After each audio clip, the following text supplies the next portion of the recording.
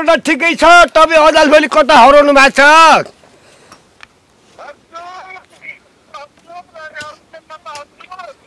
म त यतै हरेर आएको छु तपाईँ कता हराउनु भएको छ? किन टाउले काम गरेको छैन कि? के? किन सर? टाउले काम नगरेर हो कि? हेलो भन्नुहोस् न हेलो? फेरि भन्नुहोस्। Hello sir? किन भत्सकै ठुलो मान्छे बोल्नु भएको छ तपाईँ? किन नबोलेको भन्नुहोस्? ए सर किन नबोलेको तपाईँ? के कारणले हो? मैले गल्ती गरेँ कि? या तपाईँले गर्नुभयो? के भयो सर?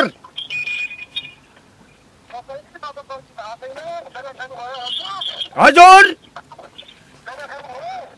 कहाँको खाना खाने यहाँ केही पनि पाएको छैन। अन्त के को खाना खाने हो?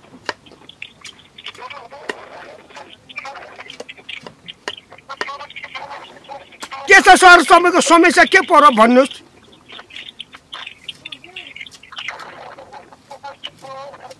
म चौपुरीसित एउटा एक रुपियाँ नलिएर पनि म त्यो यो यसमा चाहिँ पटकाएर रहनु भएको छ म त्यसमा कुरा गरिदिन्छु।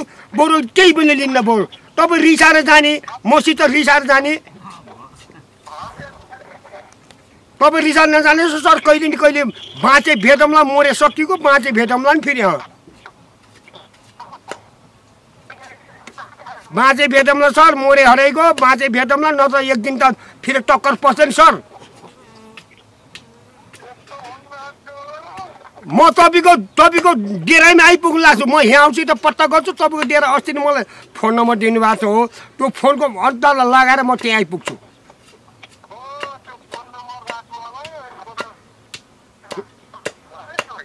किन के टेकाटेक परेछ बिहे गर्न लाग्नुभयो क्या कहाँ कहाँ के टेकाटेक परेछ कहाँ जानु लानु भएको छ तपाईँ। केटी भेट्ने भन्नुहुन्थ्यो तपाईँको त। हलेस किनेर पठाइदिने त्यो त मेरो बुढियाले याद गरिरहेछ। तपाईँ कहाँ केटीसित घुम्नु भएको छ कि केटासित?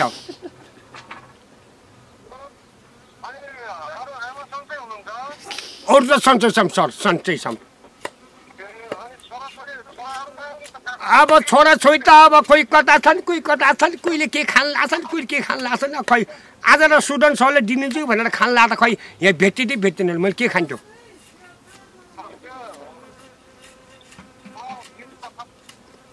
अँ यहाँ सरहरू त आउनु भएको छ खै यहाँ त केही पनि छैन स्टुडेन्ट सर दिनु छ भन्नु छ यहाँ त